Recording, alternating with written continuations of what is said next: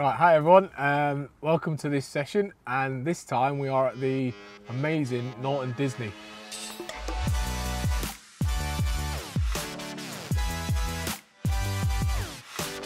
Would be silly not to use the house pellet. Built this morning, Hoppers 4. Uh, it's been slicking up. I don't know if you can see the slick out there. So this is again solid bag, same rod, but me being me, I can't sit still anyway. So if I ain't, I ain't had anything within 12 hours, I'm already looking. What Danny and Embryo have created here is uh, something special and the uh, future of carp fishing looks very good. So I'd like to say well done to them for that. Um, right, so yeah, so we're at uh, Norton Disney. Um, we are on Turner's Lake and we've picked peg 15. It's sort of in like a narrow neck of the lake, so about half, just a little bit less than halfway up the lake. Uh, we've seen fish. Uh, we've uh, wrapped up to 15 wraps, and we've found, which is our maximum distance we can fish is 65 yards. So we've just come rod length short of that. Um, we found a nice gravel area, and we spotted that, put a spod mix in there and stuff like that. So we'll show you that spod mix later. But we've got two rods on it for now, and then hopefully get more liners. But and then hopefully we'll have uh, some fish. So we'll go to the uh, spod mix now. We'll show you that now. Right, I'm just going to take you through the mix that we're going to be using in this session. In here, I've got a kilo of 10 mils, a new nutty bait that we're working on. Um, we're going to start. So we've got that in there. We're going to add some sweet corn because the fish in here love sweet corn. So I've got a kilo bag. We'll get the whole lot in there. And we'll be silly not to use the house pellet. Um, so I've got 25 kilo sack here. And apparently they love the pellet in here. So uh, we're going to stick quite a bit of these 8 mils in there. Right, so we've put about five scoops of that pellet in there. Uh, so it's going to give it a mix round.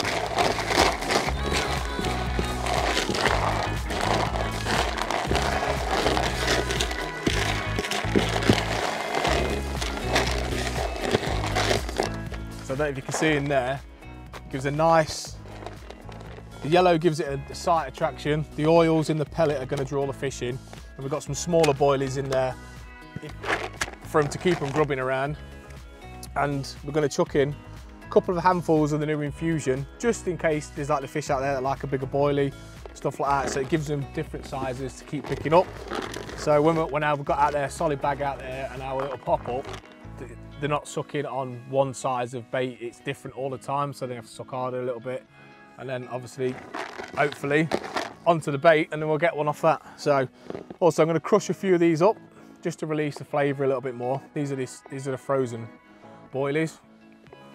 Still gone, I've been air drying for two or three days, they're gonna be hard. So, so we crush a few of them up, get them in there, mix it up a little bit. Just gonna add a little bit just a bit of a scent in the water of our new liquid liver. Smells lovely, so it's going to put a bit of that in there, just gives it a little bit more of attraction, and that will just float up through the upper layers in the water and stuff like that. Give that a mix.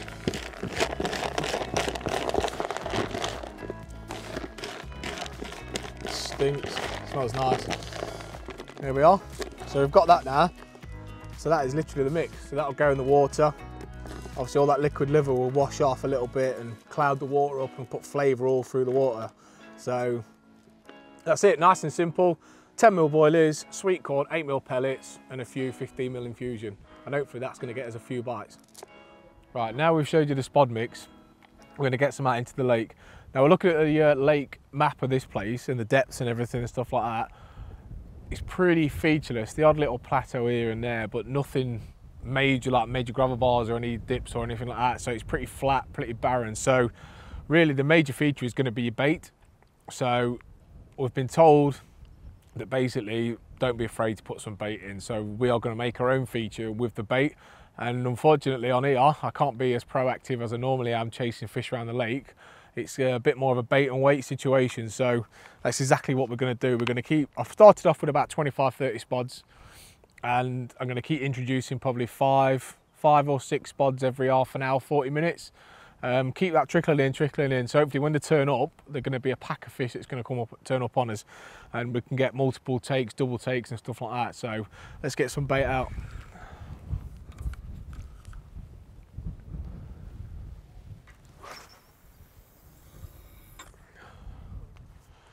Right, so very uneventful last night.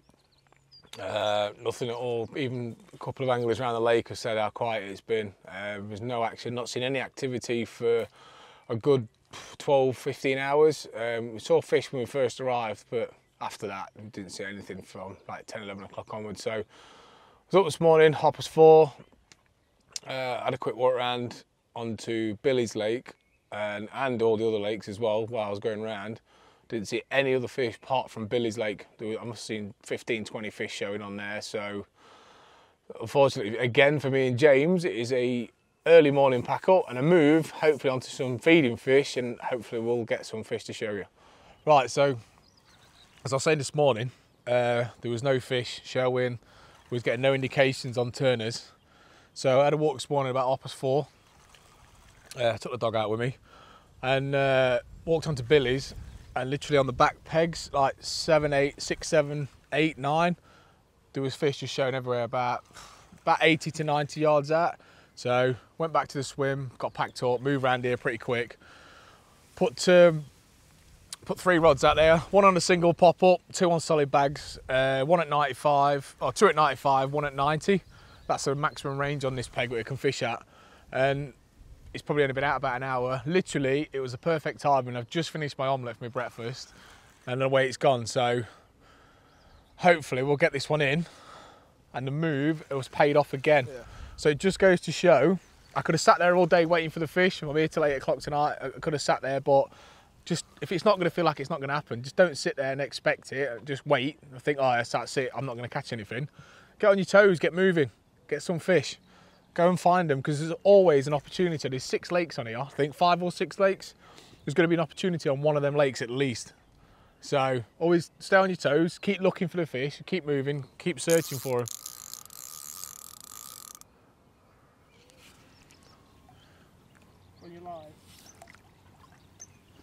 Uh, yes, got it.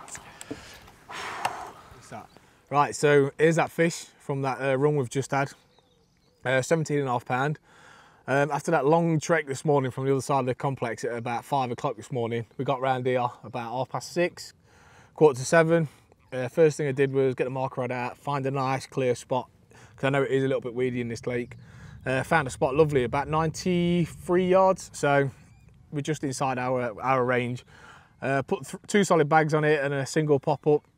The middle rod's gone with first, so it's only taken just about an hour, so it just goes to prove that staying on your toes looking for fish is, is a difference between blanking and uh, catching one. So we'll get this one back and I still think there's time for another bite. So we're gonna get some more bait out, get this one back and try and catch another one.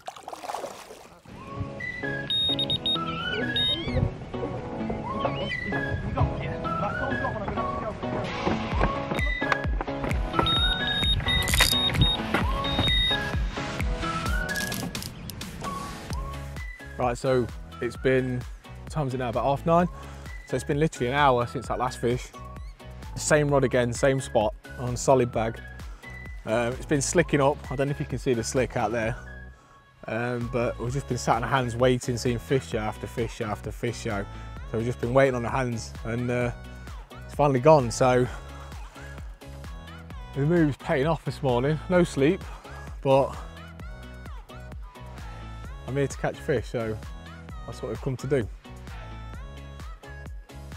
Sorry about that, I got a bit quiet then. It just got stuck in a bit of weed, yeah. So get this one in, and then we'll see how it's like. Get the when we've, when we've netted it, we'll unhook it, put it in a sling, and I'll uh, get everything sorted out. I've got solid bags ready tied up, so literally got a loop to loop one up and chuck it back out because I think there's still time for another two or three, maybe four bites, hopefully guys, come on, we've got it, we've got it, we've got it. Yeah, so we've got a bit of grass weed and stuff in here. So he's trying to keep the rod high, trying to keep the fish above the weed a little bit. Got to be careful though with stiff rods and barber sucks, because now's the time that he can lose the fish. under the rod tip. Bury himself in a bit of weed now. Sorry man, I've gone a bit quiet Alright, just concentrating to get this in. It's hard-earned fish this, isn't it? Oh, here we go. It's coming, mate. It's coming.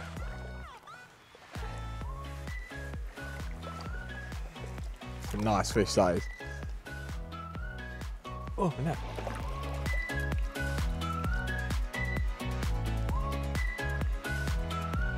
Your camera out.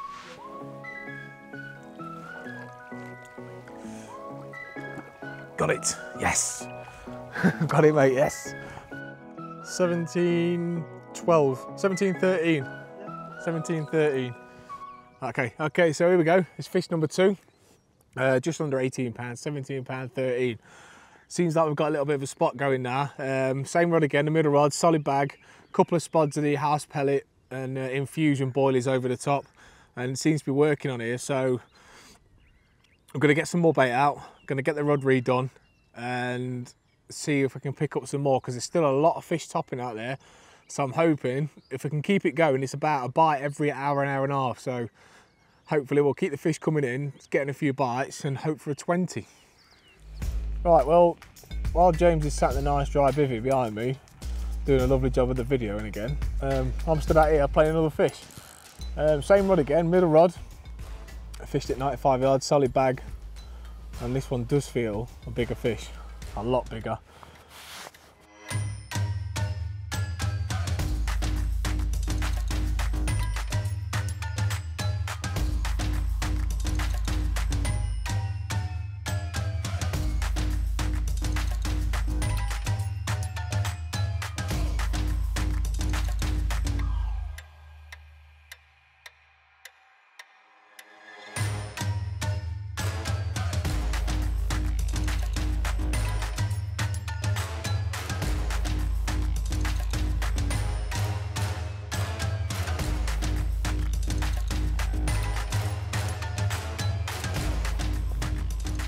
Yes.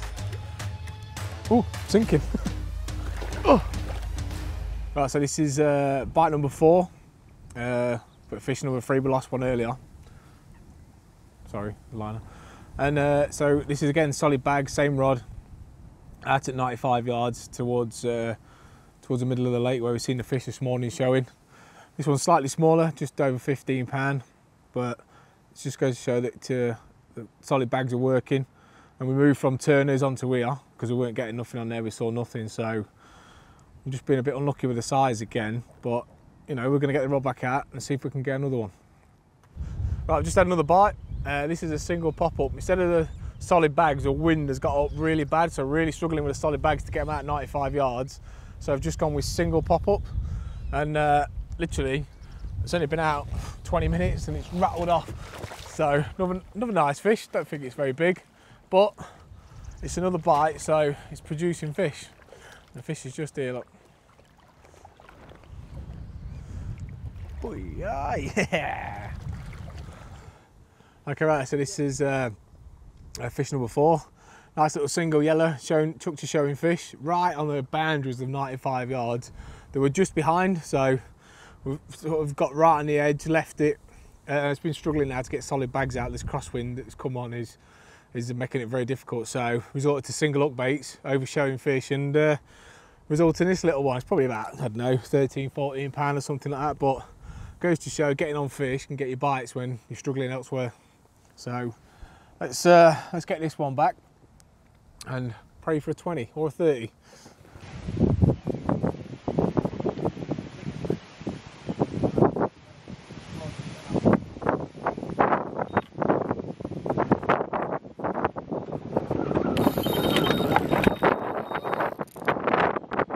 Right, so we're into another fish. Um, single yellow pop-up again. Um, just because of the wind hacking in, we couldn't get the solid bags out like I said before. So literally just sat here, waited, watched. The fish had been moving in close into the area, picking a fish up, then they're moving back out. So it's sort of like every hour to an hour and a half, we seem to tend to pick one up. Um, got that bite live on camera, so hopefully James will show you that in the video. So, but yeah, so we're into another one now Can't really tell you how big it is yet. Feels decent fish. Put it this way, it ran off and took the rod with it, but yeah, we're into another one. Single up mate seems to be uh, the way forward at the minute, getting the presentation right. Because when we were chucking solid bags out, they're drifting off the spot with the bow in the line. So it's three and a half ounce leads chucked out to uh, 95 yards, keeping a tight line to it so it's presented just over the bait. So yeah, so uh, we're into another one. Another nice scaly one, mate, isn't it? Absolute worldy fish. Fish and mega. Oof, deal. Yeah, so managed to get this fish out of the weed. It got me weeded up a couple of times. I actually thought it'd come off at one point, but it's now decided to go mental and under the other rods. But yeah, single up bait seems to be doing it better, don't they? Definitely. Just in this weed, you just can't present the solid bag at 100 yards, can you? 95, 100 yards. It's just not. It's just not hitting the clip properly. The bow in the line's just not presenting the bait. It's hitting the line, but it's just drifting it off the spot like 20, 15, 20 yards. So changed over to singles, and it's was it the third, second, third run, third run I think.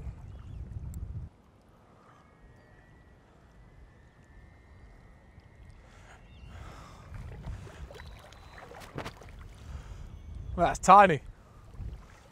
That's tiny. Just let it go here. right, so uh, here's the fifth fish. Oh, not the biggest, but nice, lovely young fish. Uh, not what we're after, we're after a 20. So we're not going to bother weighing this one or anything like that. We're just what we're going to do is just slip it straight back in. But yeah, goes to show that the uh, single up baits are working. So we're going to we'll slip this one back and get that single up bait back out. Yeah. Right. So we've just uh, slipped that small fish back. We didn't bother weighing it or taking a photograph of that. It was uh, a bit too small for us really, but. Uh, yeah, so I've put the left-hand rod back out. Uh, the wind's eased off just slightly now, so it's allowing me to get a better line lay from, because I've got a real bad crosswind. So that rod's gone back out, the left-hand rod.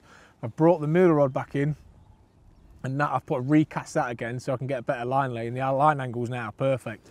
The line lay's a lot better with the wind just dropping at like four or five miles an hour. So hopefully, uh, there might be the last caster today.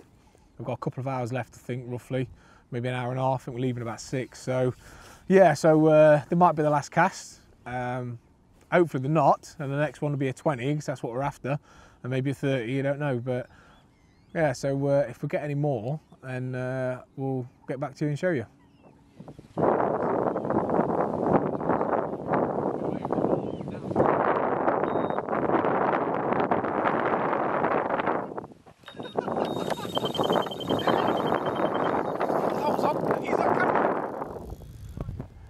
Right, so we've got another bite, single uh, hook bait again.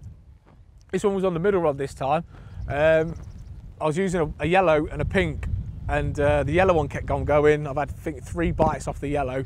So, wound in the middle rod, stuck myself a yellow pop-up on, whacked it back out. It's been 20 minutes, and this one's rattled off.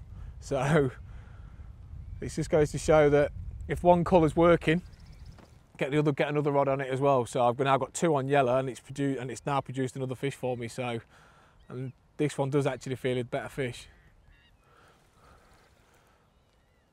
But yeah, with uh, the bites are starting to come thick and fast now. They're getting a little bit bit more regular rather than every hour and a half. It's like every half an hour. So I've recast all the rods again now since I put another solid bag out there.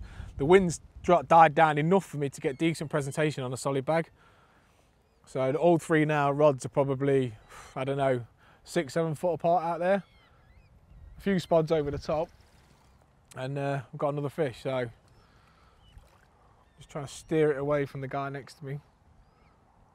Right, right so this is the fish that we've just had, uh, just over 16 pound. Another absolutely stunning fish from this lake. Every single fish has been stunning. It's been amazing. The, the, the scale pattern of these fish is out is outrageous. Every single one's been absolutely stunning, all individual fish as well. We turned a, a, bad session into a good session off the move. I think this is like the six fish out of seven bites, yellow pop-ups, solid bags, singles, going straight out to 95 yards, a little bit of spod pellet over the top and it's been producing the fish. So we've still been unlucky on the size again. We wanted a 20, um, but they're all mid doubles, very nice fish. So let's get this one back. I think we've got about half an hour left of the session, see if we can get another one. Right, so we're coming to the end of the session now. Um, let's give you a quick recap from this morning. Uh, we started off this morning at about four or four. Obviously on Turner's never had anything. So uh, obviously did a quick walk around, came over to Billy's, saw probably 20, 30 fish in a space of about 20 minutes. So obviously back to the peg, get James, come round here. Uh, looked on the uh, map, what was the peg, uh, our range we could fish at an hour, an hour border, what we could fish into. And it was 24 wraps, 90, 95 yards. So got the rods out, got plenty of bait out there. There was fish showing all over and it took them a couple of hours to get on the bait, but once they got onto the bait, it was a steady, steady bites every hour and a half uh, which turned into every hour, and then, well, not every hour, about an hour, then sort of half an hour into bites, just keep topping it up. Yeah, and just to finish off, uh, Norton Disney, you're ever thinking about paying a visit to this place, what a complex. Uh, Danny Fairbrass, Embryo, Ben the manager, I would like to, just like to say thanks very much for having us down here and allowing us to fish and film. It's an amazing complex. Fish are outstanding. Each one was a lovely fish, top quality and I will definitely, definitely be back again with a bit more knowledge under my belt this time and uh, hopefully we'll get amongst some of the bigger fish and a lot more fish. But yeah, we've done seven bites, uh, six fish landed, a couple of 17s, a few mid doubles and stuff like that. So we've turned what could potentially have been a really bad session into a good session, solely just because we've got on our toes, we've used our eyes, we've found some fish and got on fish. Now I could have sat on Turner's, could have stayed there for the rest of the day, maybe hoping the fish might turn up, but just knew it weren't going to happen. Spent enough time on the bank to realise that, you know, when it ain't going to happen, when it is going to happen. So, but me being me, I can't sit still anyway. So if I ain't, I ain't had anything within 12 hours, I'm already looking. So, but it just goes to show that use your eyes, stay on your toes, you know, and there's always an opportunity on any lake, especially on complexes like this that have got six lakes that you can there's an opportunity to catch fish. So, I mean, we've done pretty well today, to be fair. I think we're the only ones that have sort of had multiple, well, some would say multiple, but had sort of seven or eight fish. So, you know, it's, it's worked for us. So uh, we're going to get these rods in, get packed up before it starts chucking it down again, and we'll see you on the next session.